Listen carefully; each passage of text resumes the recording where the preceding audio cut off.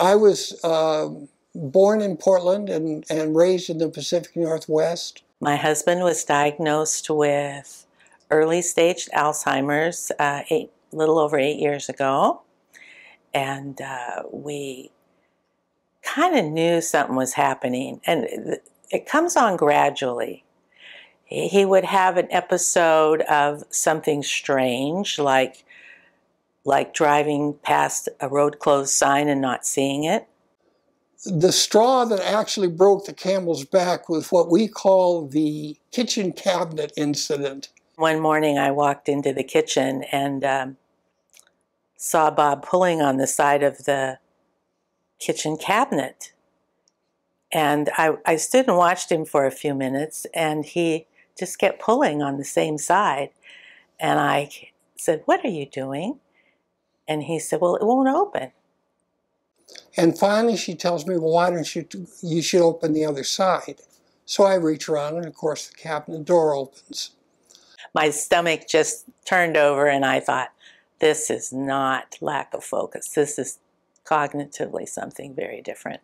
So we went back and that's when we started the process of the testing and so on and found out that he was diagnosed with early stage Alzheimer's the sooner one finds out whether or not uh, they have um, cognitive issues, uh, the, the sooner they can get started on an active program to help themselves. Bob quickly got on medication, he exercised, he started eating right.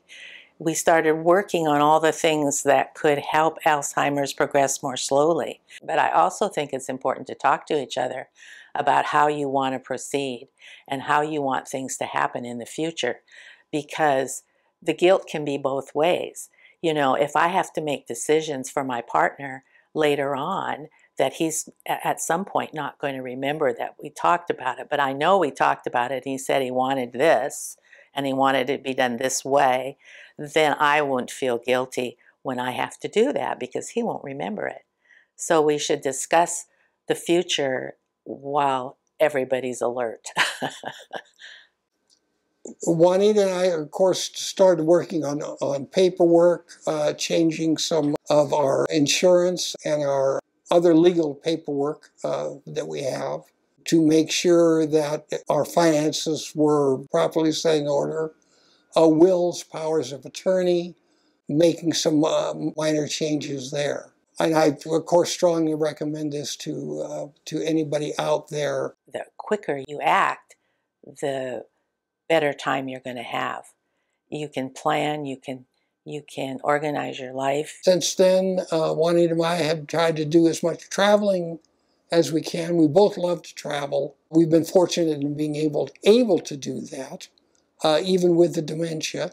We find ourselves at this point in our life uh, with no regrets.